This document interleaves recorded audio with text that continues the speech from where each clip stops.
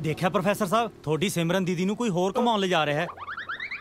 ਪਹਿਲਾਂ ਤਾਂ ਉਹ ਦੀਦੀ ਤੇਰੀ ਸੀ ਤੇ ਹੁਣ ਸਾਲਿਆ ਮੇਰੀ ਹੋ ਗਈ। ਚਲੋ ਜਿਹਦੀ ਮਰਜ਼ੀ ਹੈ ਜੀ ਹੈ ਤਾਂ ਬਗਾਨਾ ਧਨ ਪਰ ਲੁੱਟ ਕੋਈ ਹੋਰ ਰਿਹਾ ਹੈ। ਕੀ ਬਕਵਾਸ ਕਰ ਰਿਹਾ? ਮੇਰਾ ਮਤਲਬ ਘਮਾਉਣ ਕੋਈ ਹੋਰ ਲਿਜਾ ਰਿਹਾ ਹੈ। ਉਹ ਕਮਾ ਨਹੀਂ ਰਿਹਾ ਉਹਨੂੰ ਕਲੀਨਿਕ ਛੱਡਣ ਜਾ ਰਿਹਾ। ਕਲੀਨਿਕ ਬੜਾ ਨੱਕ ਦੀ ਸੇਹ ਚ ਆਉਣਾ ਜੀ ਉਹ ਵੀ ਤਾਂ ਘੁੰਮ ਘਮਾ ਕੇ ਹੀ ਆਊ ਜੀ। ਜਰਾ ਸੋਚੋ ਇੰਨੀਆਂ ਲਿਫਟਾਂ ਦੇਣ ਦੇ ਬਾਵਜੂਦ ਜਿਹਨੇ ਅੱਜ ਤੱਕ ਤੁਹਾਨੂੰ ਲਿਫਟ ਨਹੀਂ ਦਿੱਤੀ ਅੱਜ ਉਹਨੂੰ ਕੋਈ ਹੋਰ ਲਿਫਟ ਦੇ ਰਿਹਾ ਹੈ? ਉਹ ਲਿਫਟ ਨਹੀਂ ਦੇ ਰਿਹਾ। ਆਪਣੀ ਨੌਕਰੀ ਕਰ ਰਿਹਾ ਅਗਲਾ ਡਰਾਈਵਰ। ਆ ਇਸ ਹਿਸਾਬ ਨਾਲ ਤਾਂ ਤੂੰ ਵੀ ਸੋਚਦਾ ਹੋਵੇਂਗਾ ਕਿ ਰੋਜ਼ ਲੰਚ ਤੇ ਡਿਨਰ ਤੂੰ ਮੈਨੂੰ ਆਪਣੇ ਪੱਲਿਓਂ ਕਰਾਉਣਾ। ਪ੍ਰੋਫੈਸਰ ਸਾਹਿਬ ਇਹ ਤਾਂ ਮਨ ਨੂੰ ਸਮਝਾਉਣ ਵਾਲੀ ਗੱਲ ਹੋ ਗਈ ਜੀ।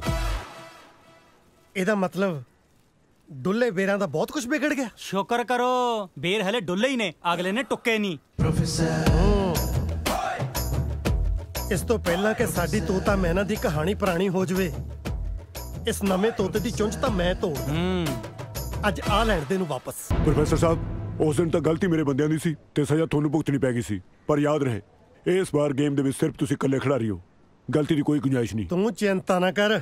ਵਲ ਪੈਣ ਦਾ ਤਾਂ ਮੈਨੂੰ ਤਜਰਬਾ ਹੀ ਬਹੁਤ ਆ।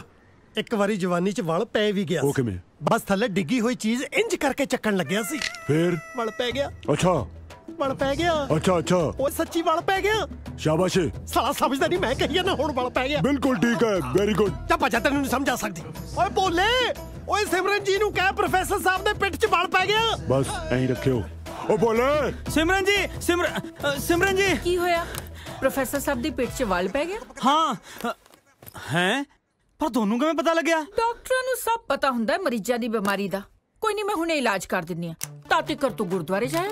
ਗੁਰਦੁਆਰੇ? ਜਦ ਤੱਕ ਮੈਂ ਭੁੱਲਰ ਸਾਹਿਬ ਦਾ ਵਾਲ ਕੱਢਦੀ ਆ ਉਦੋਂ ਤੱਕ ਤੂੰ ਉਹਨਾਂ ਲਈ ਅਰਦਾਸ ਕਰ ਲਾ। ਵੈਸੇ ਵੀ ਉਹਨਾਂ ਦਾ ਇਲਾਜ ਤੇਰੇ ਕੋ ਦੇਖਿਆ ਨਹੀਂ ਜਾਣਾ। ਤੁਸੀਂ ਉਹਨਾਂ ਦਾ ਧਿਆਨ ਰੱਖਿਓ ਜੀ ਕਿਤੇ ਉਹਨਾਂ ਦੇ ਨਾਂ ਦੀ ਸੱਚੀਓ ਗੁਰਦੁਆਰੇ ਅਰਦਾਸ ਨਾ ਕਰਾਉਣੀ ਪੈ ਜੇ। ਧਿਆਨ ਤਾਂ ਮੈਂ ਉਹਨਾਂ ਦਾ ਐਸਾ ਰੱਖਾਂਗੀ ਕਿ ਜ਼ਿੰਦਗੀ 'ਚ ਦੁਬਾਰਾ ਧਿਆਨ ਰੱਖਣ ਦੀ ਲੋੜ ਹੀ ਨਹੀਂ ਪੈਣੀ। ਕੀ ਹੋਇਆ ਭੁੱਲਰ ਸਾਹਿਬ? ਸ਼ੁਕਰ ਹੈ ਸਿਮਰਨ ਜੀ ਤੁਸੀਂ ਹਜੇ ਤੱਕ ਕਲੀਨਿਕ ਨਹੀਂ ਨਿਕਲੇ। ਮੇਰਾ ਇਲਾਜ ਕਰੋ ਇਸ ਤੋਂ ਪਹਿਲਾਂ ਕਿ ਮੇਰੀ ਜਾਨ ਨਿਕਲੇ। ਹਾਏ ਐਦਾਂ ਕਿਵੇਂ ਨਿਕਲੂ? ਜਾਨ ਤੁਹਾਡੀ ਨਿਕਲੂ ਜ਼ਰੂਰ। ਪਰ ਕਿਸੇ ਹੋਰ ਨਾਲ। ਮੇਰਾ ਮਤਲਬ ਹੈ ਐਨੀ ਛੋਟੀ ਜਿਹੀ ਬਿਮਾਰੀ ਨਾਲ ਤੁਹਾਡੀ ਇੰਨੀ ਸਖਤ ਜਾਨ ਨਹੀਂ ਨਿਕਲਣ ਵਾਲੀ। ਇਹ ਕੀ ਕਰਨ ਲੱਗੇ ਹੋ? ਤੁਹਾਡਾ ਇਲਾਜ।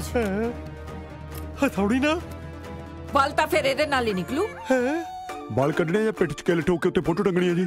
ਸੋ ਸਵੀਟ ਸਤਨਾਮ ਜੀ ਤੁਸੀਂ ਪਲੀਜ਼ ਮੇਰੀ ਹੈਲਪ ਕਰੋ। ਤੁਸੀਂ ਇਹਨਾਂ ਦੀ ਖੱਬੀ ਬਾਹ ਫੜੋ ਤੇ ਮੈਂ ਇਹਨਾਂ ਦੀ ਸੱਜੀ ਲੱਤ ਫੜਦੀ ਹਾਂ। ਕੀ ਗੱਲ ਮੇਰੀ ਅਲਾਈਨਮੈਂਟ ਹਿੱਲੀ ਆ? ਤੁਹਾਡਾ ਕੀ ਕੀ ਹਿੱਲਿਆ ਇਹ ਤਾਂ ਸਿਰਫ ਮੈਨੂੰ ਹੀ ਪਤਾ ਹੈ। ਫੜੋ ਫੜੋ ਤੁਸੀਂ।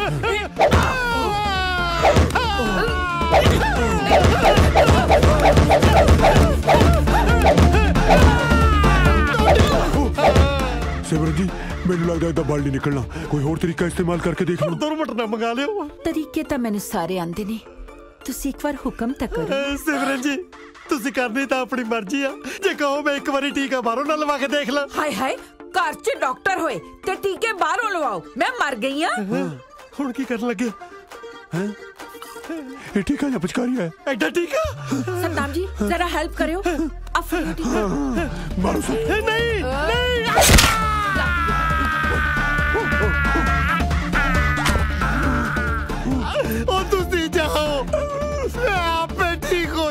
ਐਦਾਂ ਕਿੱਦਾਂ ਠੀਕ ਹੋ ਜਾਓਗੇ ਤੁਹਾਡਾ ਜਿਹੜਾ ਇੱਕ ਮਣਕਾ ਹਿੱਲਿਆ ਨਾ ਉਹਨੂੰ ਸੈੱਟ ਕਰਨ ਲਈ ਇੱਕ ਵਾਰ ਸਾਰੇ ਮਣਕੇ ਅਪਸੈਟ ਕਰਨੇ ਪੈਣਗੇ ਨਹੀਂ